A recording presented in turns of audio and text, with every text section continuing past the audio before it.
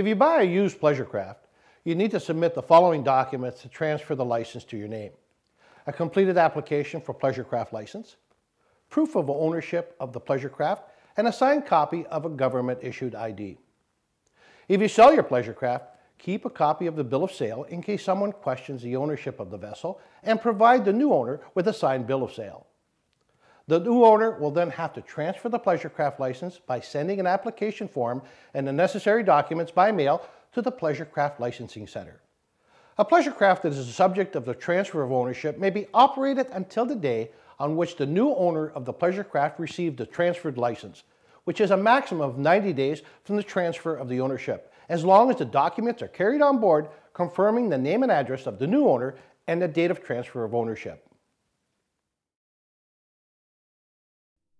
Hull Serial Number All pleasure craft made or imported into Canada must have a Hull Serial Number, HIN, affixed to it. No character of the HIN is to be less than 6 millimeters, 1 quarter inch in height and width. The HIN helps to find lost or stolen boats and boats that are subject to a recall. The HIN must be permanently affixed to the outside upper starboard, right side, corner of the transom, the boat's rear, flat end, above the waterline, or as close to that area as possible. The HIN is 12 digits long, beginning with the manufacturer's identification code, MIC.